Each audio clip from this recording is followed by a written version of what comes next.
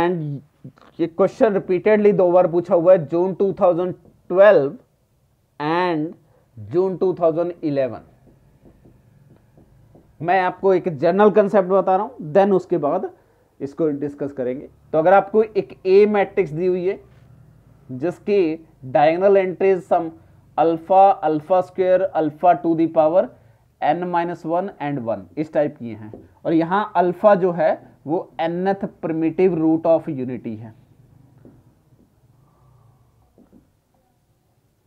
ठीक है? Alpha is a nth primitive root of unity और W एक वेक्टर दिया जाएगा जिसमें W1, W2, Wn n components होंगे। ठीक है? और सारे Wi जो हैं वो क्या होंगे? या तो वन होंगे या माइनस वन में से बिलोंग करेंगे। ऐसा कुछ गिवन होगा। और उसके बाद आपको एक क्वांटिटी पूछी जाती है W of A which is the square root of W A theta A sorry W A W transpose तो बेसिकली अगर मैं एक क्यू ऑफ़ डब्ल्यू डिफाइन करता हूँ which is W A W transpose तो ये एक आपके पास क्वाड्रेटिक फॉर्म है with respect to this matrix तो ये क्या आ जाएगा आपके पास? डब्ल्यू वन होल स्क्वेयर ठीक है?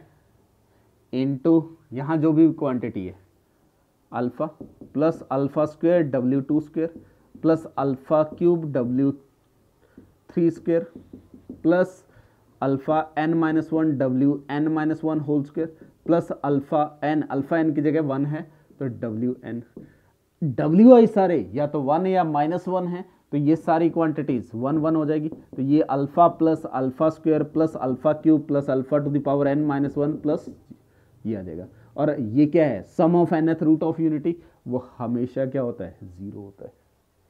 Clear sum of nth root of unity है। वो डेफिनेटली क्या हो जाएगा? ज़ीरो हो गया। तो यहाँ आपका आंसर जो आएगा, वो हमेशा ज़ीरो आएगा। अब आपको जो जून 2012 में क्वेश्चन दिया हुआ है, उसमें ए जो मैट्रिक्स दी हुई है वो जाई इनवर्स वन जाई दिया हुआ है और जाई जो है वो क्यूब रूट ऑफ़ यूनिटी है। तो जाई इनवर्स को जाई स्क्वायर से रिप्लेस कर दो। ठीक है?